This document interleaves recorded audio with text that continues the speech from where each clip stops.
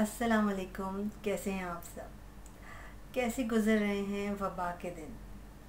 कुछ अर्सा पहले जब करोना वायरस इस कदर शदीद दुनिया को मुतासर नहीं किए हुआ था अभी, तभी एक तहरीर लिखी थी।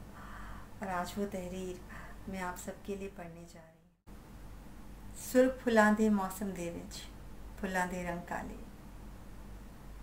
ये मौसम, बाहर का मौसम।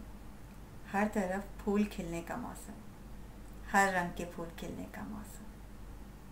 इस मौसम में आधी दुनिया घरों में महसूर है। ये वबा के दिन हैं, जिनकी हम कहानियाँ पढ़ा करते थे, या अपने बुज़ुर्गों से सुना करते थे। क्या हम भी आने वाले 20-25 सालों में ऐसी ही कहानियाँ सुनाया करेंगे? क्या हम इन कहानियों को सुनाने के लिए ज़िंदा बचेंगे? अगर बच गए तो हमारी कहानियाँ कैसी होंगी?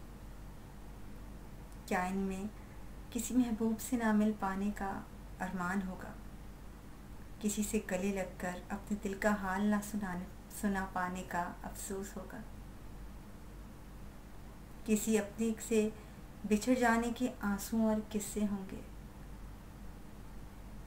क्या राशन जमा करते इंसान के जानवर से ज़्यादा खुद खुद कर्ज हो जाने का ज़िक्र होगा? क्या किसी बूढ़े गरीब बाप के पूरा शहर बंद पड़ जाने पर, काम ना मिलने पर, रोटी ना कमा पाने पर? बच्चों को भूखा देखकर एक ही रात में कई बार मर जाने का किस्सा होगा।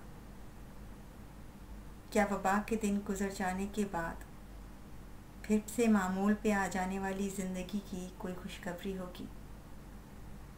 क्या वबा के बाद खिलने वाले पहले गुलाब की कोई तस्वीर होगी? क्या बहुत दिन बाद किसी अपने को देखकर, छूकर महसूस करने वाली खुशी का इजहार होगा? क्या वबा के दिन के बाद ज़िंदगी का आसार होगा?